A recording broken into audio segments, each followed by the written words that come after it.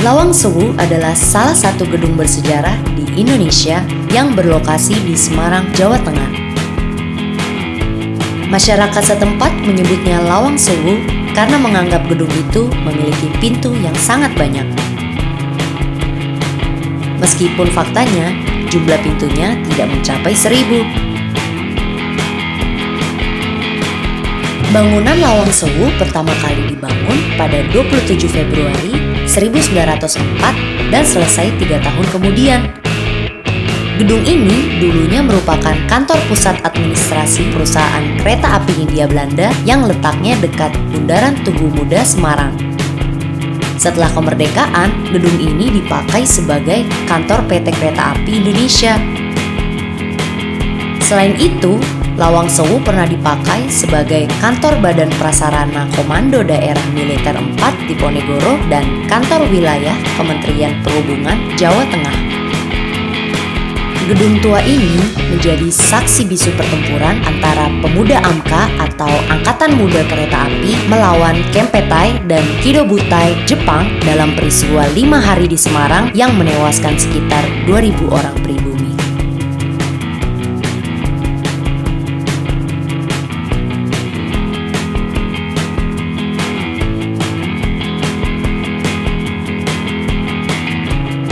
Tak heran jika kemudian gedung ini dikenal masyarakat sebagai tempat yang angker. Meski terlihat seram, namun masih banyak pengunjung yang memilih untuk bersafari di malam hari. Apa sih pendapat mereka tentang wisata malam hari di Lawang Sewu? Emang serem sih mas. Tanya apa ya? Bangunannya itu kuno terus ada zaman-zaman dulu katanya ada penyiksaan juga di sini. Ada makam juga. Terus ada terowongan bawah tanah. Dan ternyata di situ yang paling angker tuh di situ mas. Kalau mungkin kerasa serem sama enggaknya sih tergantung dari orangnya masing-masing ya mas ya. E, sekarang kan Lawang Sewu kan udah dibikin tempat wisata kan. Jadinya kalau orang yang mau tempatnya atau tujuannya was, wis, wisata ya nggak kerasa serem sih. Kayak saya saya kan asli Semarang juga kan di sini. Ya nggak kerasa serem. Apalagi sekarang tempatnya udah bagus udah enak lah udah direnovasi lebih bagus lah. Nggak kayak seperti itu. Ya kalau serem sih enggak ya asik sih. Di sini kita juga tahu sejarahnya uh, apa? Lawang Sewu itu gimana. Kan tadi juga ada mas-mas pemandunya.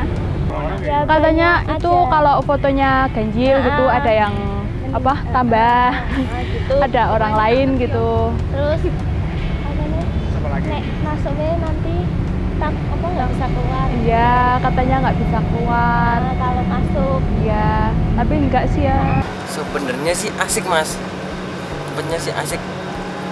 Tempatnya sepi sunyi. Kalau buat yang apa? Kalau bising di luar bosen. Sini sebenarnya asik buat nongkrong mas.